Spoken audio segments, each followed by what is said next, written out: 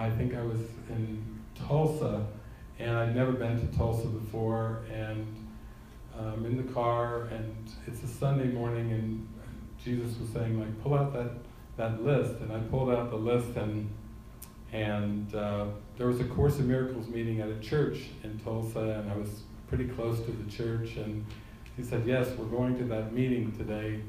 And then I looked at the time, and, and it was like, like this meeting, is like 11 to 12. It was like, as I'm pulling up to the church, it's, it's 10 minutes to 12.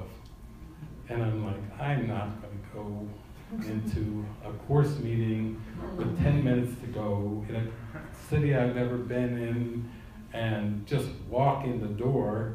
And uh, Jesus says, uh, yeah, that's what I want you to do. right in with 10 minutes to go. You know, but he's the one that knows the way. And he's the one that's providing the way and opening everything up. So I got out of my car, I walked in, and they were having, it was a Course in Miracles group, they were having a big, heated discussion on sexuality.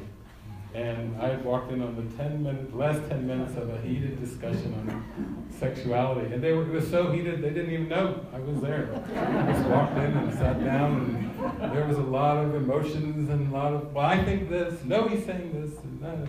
So I sat there, and then they oh, it's noon. Oh, who are you? How did you get here? And I said, well, actually, I just kind of walked in here, and, you know, it was not the thing that I was typically prone to doing. But then very much, oh, come on, we're going out for lunch, come with us.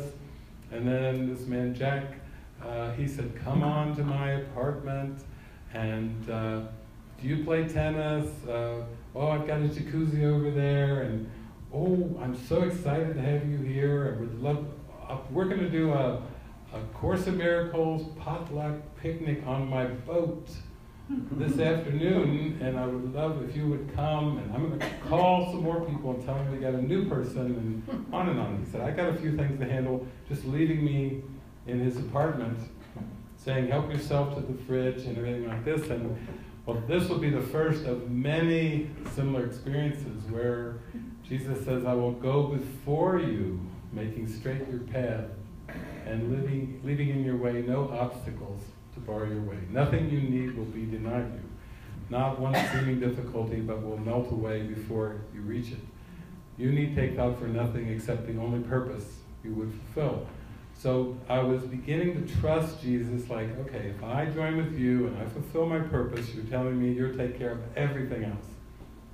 Everything else in time and space. It's like, yeah, that's it. Everything. Oh, that's a pretty big everything. So in that, I realized he meant everything when he said everything, that everything has been arranged and orchestrated